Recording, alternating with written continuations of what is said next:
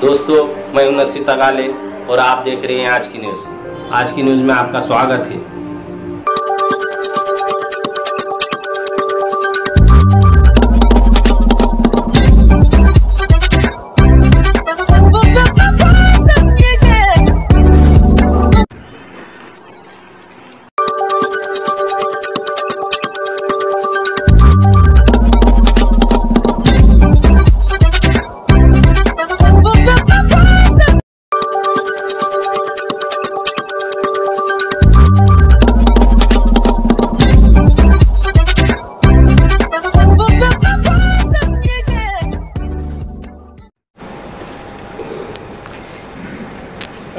दुर्भाग्य से देश की माइनॉरिटी को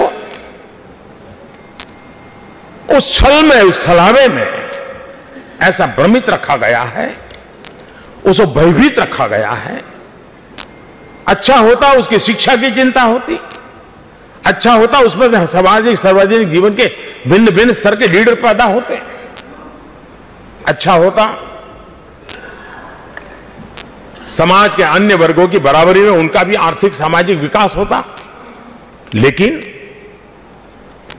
वोट बैंक की राजनीति में एक छलावा, एक काल्पनिक भय, एक काल्पनिक वातावरण और डर का माहौल पैदा कर करके उनको दूर भी रखा, दबा करके भी रखा और सिर्फ़ चुनाव में उपयोग करने का खेल चला। 2019 में आज मैं एक जिम्मेवारी के साथ आपसे अपेक्षा करने आया हूँ। अब जब संविधान को के सामने सर झुका करके आपके सामने खड़ा हुआ हूँ, तब मैं आपसे आग्रह करूँगा कि हमें इस छल को भी छेद करना है।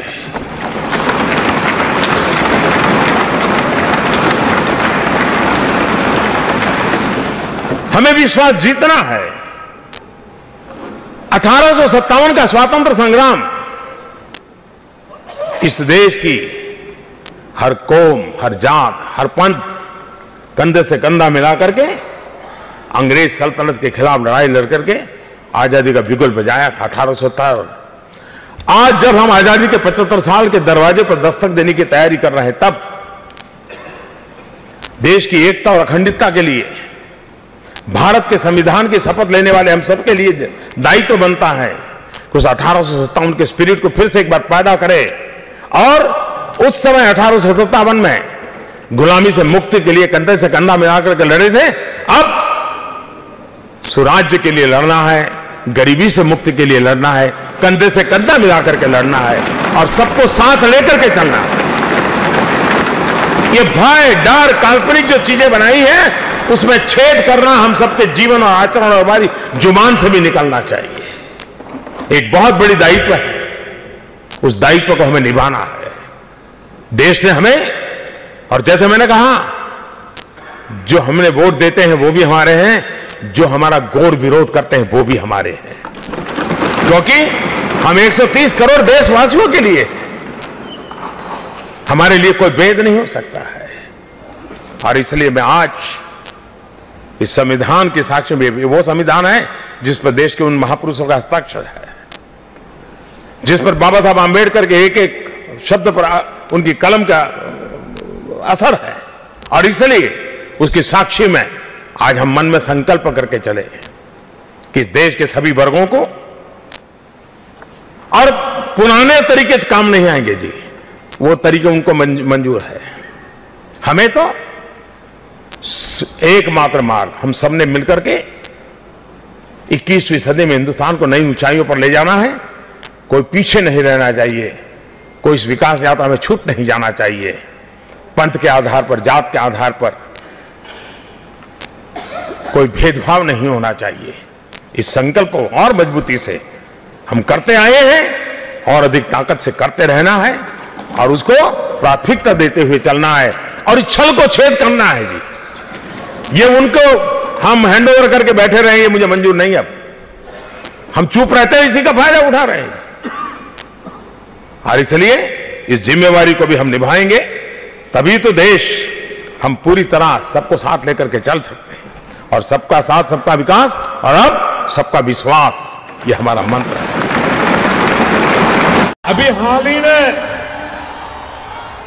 अभी हाल में सऊदी अरब ने वहाँ के क्राउन प्रिंस भारत आए थे। तो उनके सम्मान में भोजन था। तो भोजन पे हम बातें कर रहे थे। बातों बातों में मैंने उन्हें कहा कि देखिए, हिंदुस्तान में तेज गति से आर्थिक विकास हो रहा है। हमारा मध्यम वर्ग का दायरा बढ़ता चला जा रहा है। लोग गरीबी से बाहर आ रहे हैं। तो उनके मन में भी नई नई इच्छाएँ जगती है। तो उन्होंने मुझे पूछा, क्या मैंने कहा, हमारे मुसलमान भाई, अब बड़ी मात्रा में हज के लिए जाना चाहते हैं, लेकिन आपका कोटा कम पड़ रहा है।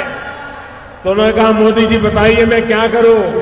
मैंने कहा, भारत का कोटा बढ़ा दीजिए और आपको खुशी होगी। दो लाख कर दिया, दो लाख। दुनिया में किसी भी देश का कोटा नहीं बढ़ा। हमारे देश के मुसलमान हज यात्रा कर सके, इसलिए कोटा बढ़ गया। ये भारत की आवाज़ सुनी जा रही है। इतना ही नहीं, मैंने दूसरी बात कही। मैंने क्राउन प्रिंस से कहा कि भारत के नौजवान सऊदी अरेबिया में रोजी रोटी कमाने आते हैं, मजदूरी करते हैं, काम करते हैं। ज़्यादातर हमारे गरीब परिवारों से होते हैं, भले भोले लोग होते हैं, मेहनत करते हैं, ज़्यादातर मेरे मुसलमान परिवारों से होते हैं, अब उनसे कुछ छोटी मोटी गलतियाँ हो जाती हैं, उनको वहाँ के कानून का पालन नहीं किए, पता होता है, और बेचारे जेल चले जाते हैं, और सालों तक जेल में रहते हैं। मैंने कहा, मुझे आपकी मदद चाहिए। उन्होंने कहा क्या चाहिए? मैंने कहा, जल्दी से उनका केस चले और उनको जेल से रिहाई कर दिया जाए। उन्होंने कहा, मोदी जी, आपने कहा है ना, मैं आज आपको शाम तक जवाब दे दूँगा। आप हैरान हो जाएँगे। सऊदी अरेबिया के क्राउन प्रिंस शाम को राष्ट्रपति भवन में जब हम डिनर पर बैठे थे तो उन्होंने कहा, मोदी जी तो कुछ मीठा खा लो। मैंने कहा, किस बात का? बोले सऊदी की जेल में भारत के जो 850 लोग थे, उनको छोड़ने का मैंने फैसला कर लिया। ये होता है दुनिया के साथ नाता भाई इन, मैं इन फैसलों के लिए सऊदी अरब को, क्राउन प्रिंस को हृदयपूर्वक धन्यवाद देता हूँ भाइयों बहन। साथियों ये विदेश में भारत के बढ़ते प्रभाव